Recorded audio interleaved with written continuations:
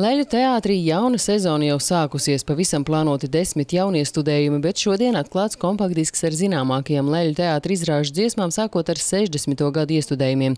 Katra dziesma, protams, saistās ar kādu konkrētu izrādi, bet tie, kas nav izrādes, varbūt redzējuši, noklausoties šo dziesmu, viņam varbūt radīsies vēlme šo izrādi redzēt. Tas ir dziesmu disks, tā ir mūzika, ko klausīties. Tas nav skatāms, jo skatīties jānāk uz teātru. Ja izlemsiet nākt, pagaidām jārēķinās ar nērtībām. Teātris turpina saņemt skatītāju sūdzības par nefunkcionējošiem mazo skatītāju krēslu mehānismiem. Šos 30 gadus vecos skatītāju krēslus teātris cenšas uzturēt lietošanas kārtībā, taču daudzu mehānismi ir tik nolietojušies, ka tie vairs nav glābjami. Naudas jaunu iegādē pietrūkst, un arī pērnu nopelnītais, kas sektu tikai mazu daļu no jaunu krēslu cenas, gandrīz pilnā apmērā būs jāieskaita valsts budžetā.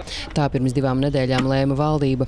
Teātra vadītājs cer, ka tā savu lēmumu pārskatīs un ļaus Lēļu teātrim, jauniem Rīgas teātrim, Nacionālajai operai un baletam, kā arī valsts sijā Latvijas koncerti paturēt pērnā gada peļņu, bet labākajā gadījumā radīs ilgtermiņa risinājumu.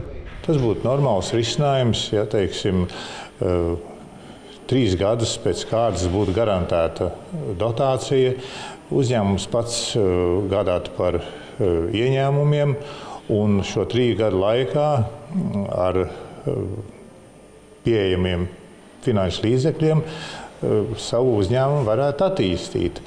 Leļu teātra vadītājs zina teikt, ka kaimiņu zemēs uz kultūras iestādēm neraugās kā uz valsts budžeta atbalstītājiem. Lietuvā un Igaunijā viņiem ir teātra likums, tā kā mums ir operas likums, viņiem ir teātra likums. Uz nepilnībām likumdošanā sākot diskusiju norādīja arī Nacionālās operas un baleta vadītājs Zigmārs Liepiņš.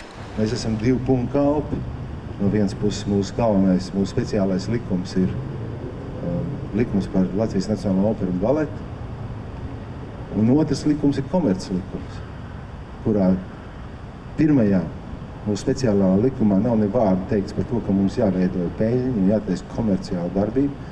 Mums ir jā, jāveicina Latvijas kultūras attīstība, jāveicina žanra attīstība, baleta un operas attīstība. Bet ir otrs likums, komerclikums, kurš nosaka, kā mums ir peļņa tā vai citādāk radusies, un tā mums ir jādod valstī, acīm redzot.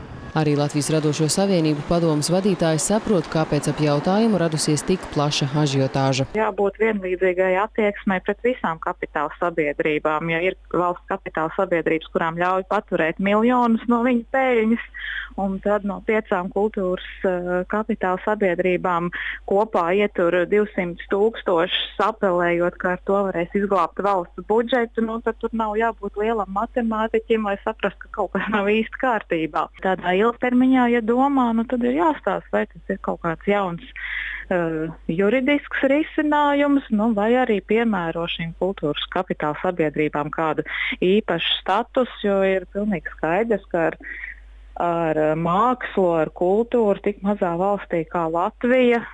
Būs grūti to uztaisīt par biznesu un ar to pelnīt. Kultūras ministrija savus priekšlikumus situācijas risināšanai atklās nākamās nedēļas sākumā, bet valdības sēde tematu skatīs 1. septembrī. Madara Rudzīt Gustavs Kukainis, Latvijas televīzija.